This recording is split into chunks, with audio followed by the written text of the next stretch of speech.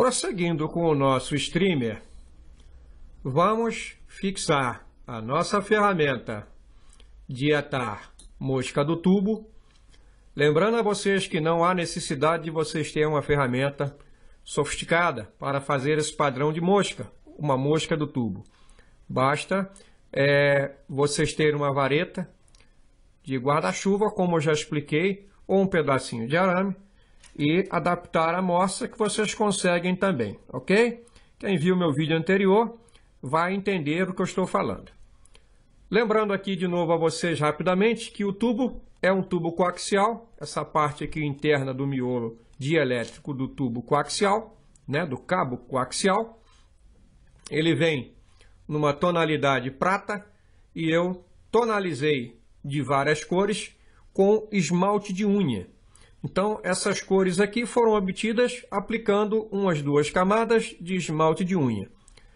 O material resiste um bom tempo dentro d'água, sem descamar, e a mosca, até o final da pescaria, provavelmente vocês vão conseguir ainda uma boa efetividade em colorações diferentes, ok? Vamos então, eu vou escolher aqui para este atado o tubo roxo, ou violeta, ou púrpura, como queiram. Vamos colocar aqui a nossa ferramenta do tubo, fazer uma pressão contrária para lá, para prender bem esse tubo aqui, pressionar aqui a ferramenta e manter o conjunto fechado. Muito bem, retocando aqui ao desenho, vocês podem lembrar que o corpo essa parte estrutural ela não fica nua, ela não fica simplesmente do jeito que está. Eu apliquei um material aqui. Que material seria esse? Seria uma parte decorativa. Nós podemos aplicar sobre o corpo da mosca para criar uma atratividade maior o chenille, um micro chenille, ok? Um cacto chenille também pequeno, aramado, ok? Aramado. Então temos aqui dois padrões, sendo que ambos foram feitos em casa, ok? Com uma máquina que eu tenho, que eu construí, chamada Dubin Twist. Então pode-se também, para quem não tem a, mão esse material, pode-se usar lã também. Lã desfia, né? Desfia a lã. A lã geralmente ela vem em três fios a pessoa desfia e vai fazer esse complemento aqui, essa decoração. Pode pescar sem essa decoração, pode botar aqui a cerda para criar aqui o, o shape da mosca e pescar, pode. Eu estou aqui inventando um padrão. Se você for seguir o que eu desenhei aqui, ele tem essa decoração. Se você não quiser, pode simplificar. Que fibras eu vou usar acima para criar o dorso aqui e o estrutural do corpo. Eu vou usar três cores de fibra. Fibra amarela, preta e vermelha. Amarela para a parte central, preta para o shape de cima, do fechamento do dorso, e vermelha um pouquinho aqui embaixo para a guelra, né? Ou como se um peixe tivesse ferido, machucado, sangrando. Muito bem, essas fibras aqui são fibras sintéticas de corda com um misto de cabelo sintético. Então eu misturei as duas qualidades de fibras, ok? Tem aqui fibra de cabelo sintético, cabelo sintético vocês acham aí facilmente, e a fibra de corda de nylon desfiada. Muito bem. O processo em si é simples, não requer grandes engenharias para o atado desta mosca. Vamos usar uma linha de atado caseira, estou usando uma linha de atado aqui, é, equivalente na tensão aqui de uma 3 barra 0 ou de 200 a 220 dNE. Esta aqui é uma linha caseira que eu já expliquei nos meus vídeos iniciais do atado de mosca. Vamos começar o atado é, começando aqui por trás, com algumas voltas, iniciais. Vou aparar essa parte aqui e vamos optar ou por uma peça de chenille bicolor, ok? Ela era amarela, eu passei a caneta pink aqui, então eu tenho duas cores.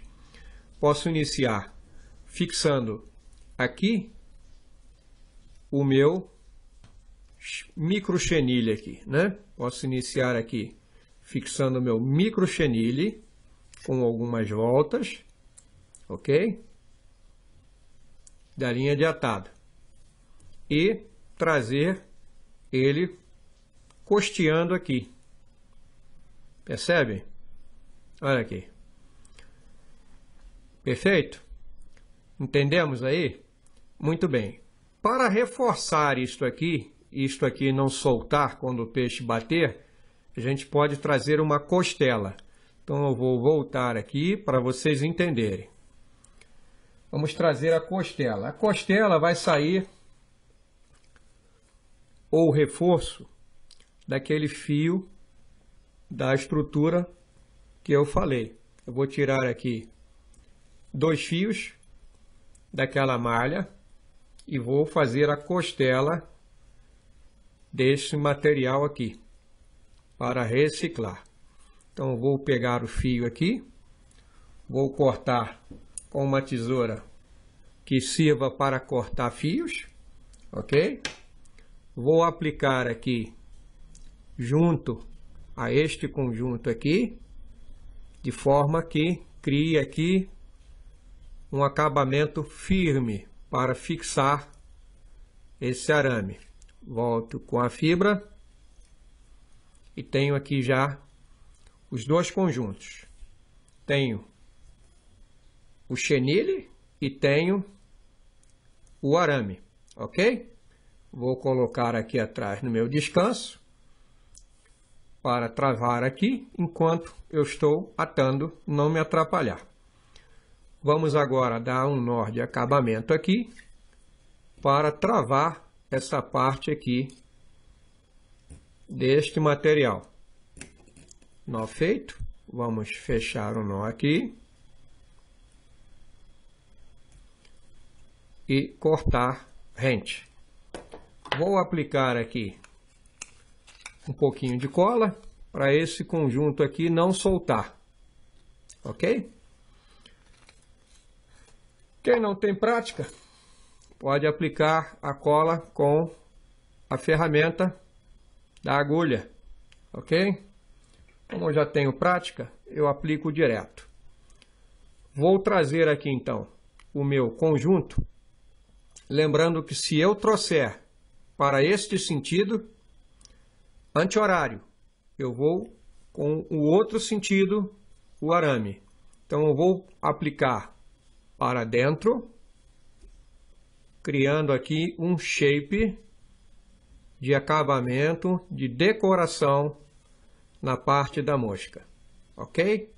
Chegando aqui, eu preciso prosseguir com o meu atado eu vou aplicar a linha de atado aqui.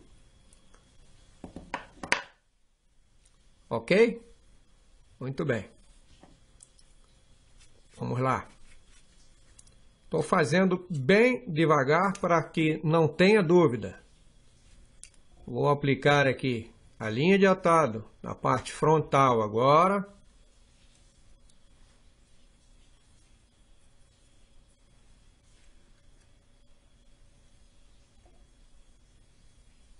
e trazer todo esse conjunto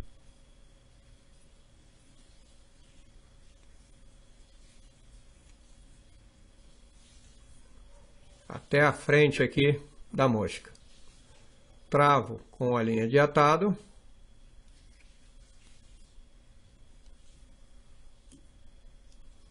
E corto o excesso. Compreendido? Muito bem vou soltar aqui o meu material e vou fazer ao contrário. Vou posicionar ao contrário aqui o arame de forma a criar aqui a costela da mosca. Com isso, eu reforço esta estrutura que estou fazendo aqui. Vamos fixar agora aqui o arame firmemente e a parte estrutural estaria finalizada. Vou cortar com a tesoura apropriada e vou dar um nó de acabamento aqui.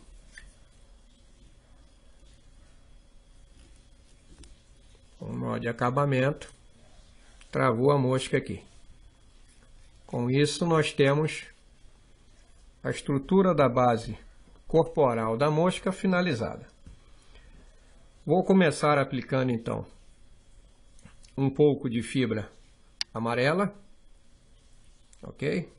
Um pouco de fibra amarela, de forma que o conjunto vá mais ou menos até esta parte aqui, ó. O anzol ficaria aqui atrás, eu calculo mais ou menos até aqui.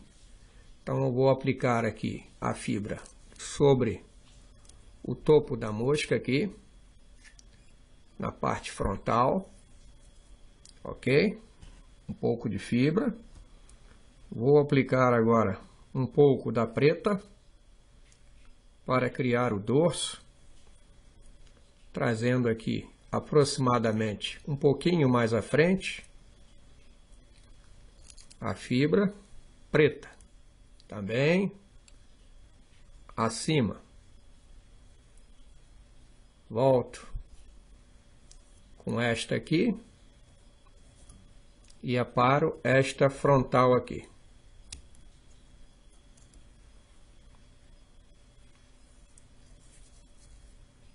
Ok? Vamos ajustar aqui. E na parte inferior, nós vamos aplicar um pouquinho de fibra vermelha, como foi citado.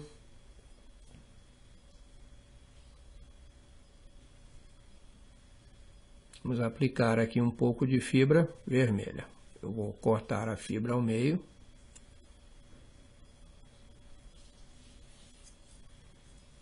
E nós vamos aplicar aqui uma camada de material para simbolizar aqui a guelra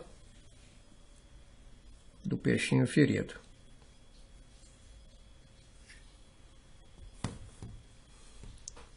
Voltamos esse material para trás e fechamos a nossa mosca aqui, com mais algumas voltas da linha de atado.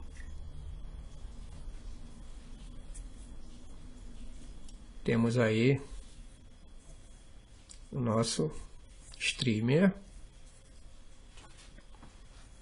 similar ao que nós estávamos vendo aqui no projeto, né?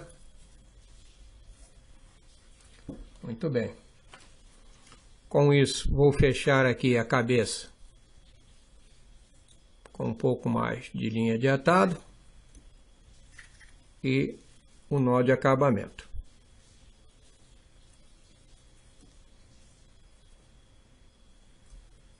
Fechei aqui. Faço os ajustes. E vou aplicar um pouco de cola para esse sistema aqui todo ficar fixo. Lembrando que depois a gente faz a finalização da cabeça. Isso é só para manter essas cerdas aqui todas unidas. Vamos pentear aqui o sistema.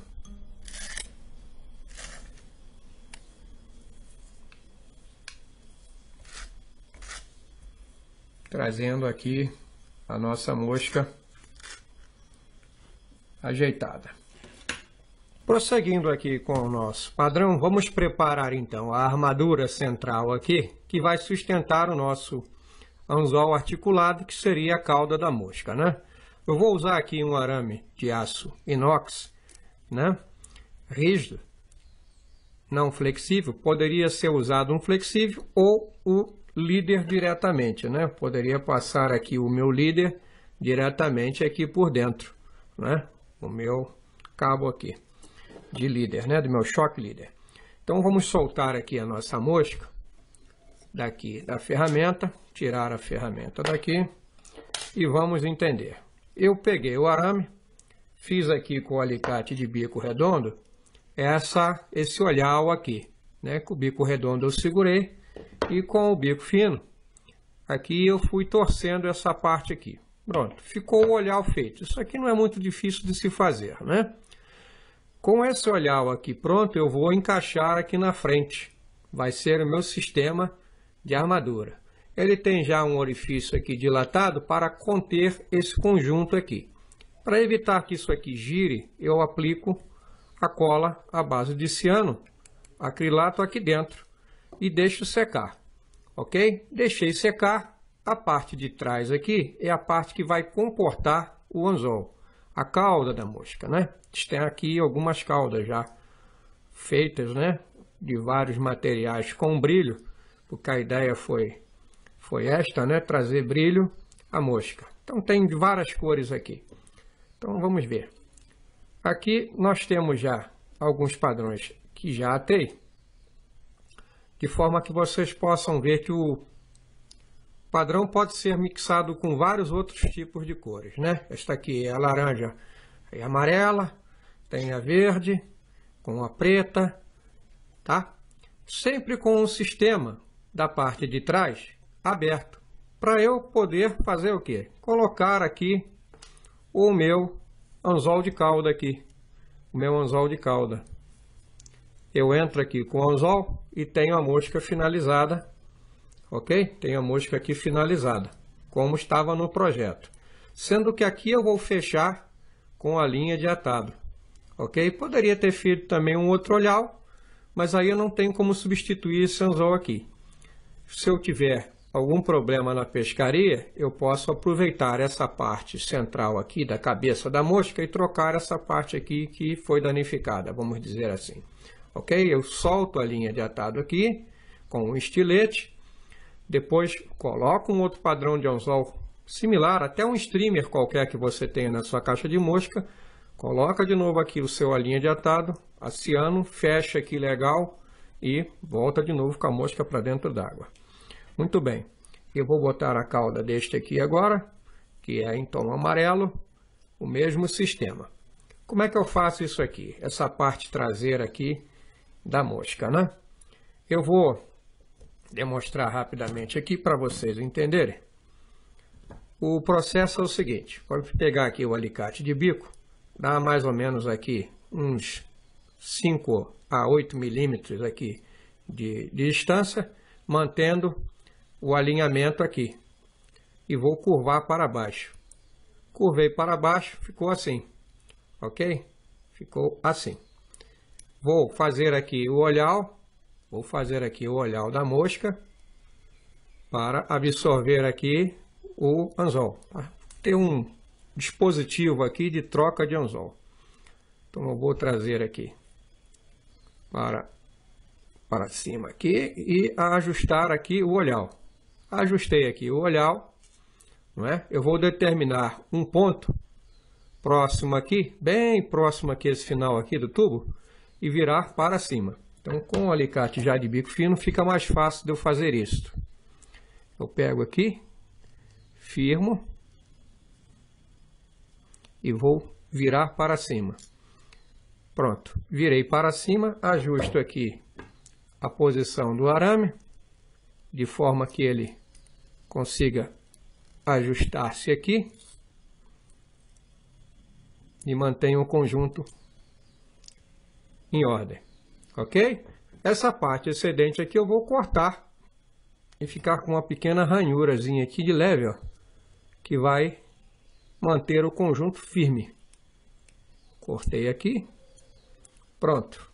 Tenho aqui já todo o sistema montado, já pronto para aceitar um anzol. Aqui é só ajustar a curvatura aqui para ficar alinhado e mais uns ajustezinhos pequenos que nós precisamos fazer para o conjunto ficar perfeito. Ok? Conjunto montado, nós vamos então pegar a cauda correspondente e fixar nessa parte traseira aqui. Então nós temos aqui o sistema montado. Muito similar ao que já foi mostrado aqui no desenho. Como vocês podem ver aí, está muito similar, né? Aí. O mesmo, mesmo esquema. Bom, seguindo então o projeto, eu vou fixar essa parte traseira aqui, o olhal, né? aqui, de forma que eu possa fechar, posicionar melhor aqui, de forma que eu possa fechar essa parte aqui com a linha de atado. Vocês vão perceber que pode ser feito sem grandes dificuldades esse acabamento aqui. Basta você reforçar. Observem que a fibra vai acabar incomodando aqui a gente. Então a gente usa aqui um pequeno pregador de forma que facilite esse, essa finalização aqui. Então nós vamos aplicar aqui uma boa quantidade de linha de atado para finalizar esse processo aqui. Mantendo esse conjunto todo aqui firme. Após isso aqui estar fechado, devidamente fechado, não vamos ter mais problemas eu libero aqui a minha mosca, aplico aqui o ciano, não é? aplico aqui o ciano de forma que não vai mais soltar. Esse conjunto aqui não solta mais. Fica firme e bem fechado. Finalizo aqui cortando deixo secar, acomodo aqui o sistema e a mosca estaria finalizada como no projeto que eu mostrei, né? Então nós temos aqui a mosca já totalmente aqui montada. no meu conjunto. Okay. Pentear aqui, fazer qualquer aparo nas fibras que estão um pouco mais irregular e deixar esse conjunto secando aqui por alguns minutinhos aí. Secou, já posso pescar. Já posso andar para dentro d'água, né? A mosca já estaria ok. Eu vou liberar aqui a amostra para continuar a explicação. E eu tinha citado a vocês que o sistema permite também que a gente use uma mosca com o sistema de luva aqui atrás. Então, esta aqui é uma mosca similar à que eu atei, só que com a luva que eu adaptei aqui na parte traseira. Essa luva vai fazer o que? Vai conter o meu anzol na parte de trás aqui, fazendo com que um conjunto aqui trabalhe com um anzol fixo na posição que eu quiser trabalhar, né? Se assim ou se assim, virado para cima. Isso vai ficar a critério da pessoa lá, tá? Que estiver pescando. Como é que eu faço esse sistema? Eu transpasso aqui o meu shock tipped ou o meu cabo de aço flexível por esta parte aqui frontal da mosca, né? E vou dar um nó. Nessa parte aqui traseira, eu não vou me preocupar com um nó muito específico agora, porque é só um exemplo. Eu vou dar um nó, imaginemos que aqui tenha sido feito um nó, não é? A mosca vai correr, vou colocar aqui dentro desta luva e o sistema estaria montado. Então eu tenho dois padrões de mosca aqui. Um nesse sistema, anzol fixo, e outro no anzol articulado, como está aqui demonstrado, né? Nesse sistema aqui dois padrões de mosca para vocês usarem aí e desfrutarem das suas pescarias. Espero que tenham gostado dos padrões apresentados. Né? O streamer raio de luz, por causa da cauda, quando cortar ele vai ter todo esse reflexo na parte traseira. E existem variadas formas de atar, ok? Essa aqui foi feita com a lã, bem simples, o material. Praticamente só decorei a parte interna aqui. O que eu poderia também pescar só com um tubo liso, desta forma aqui. Não tem problema nenhum. Obrigado a todos que estão me prestigiando. Um grande abraço. Até o próximo vídeo.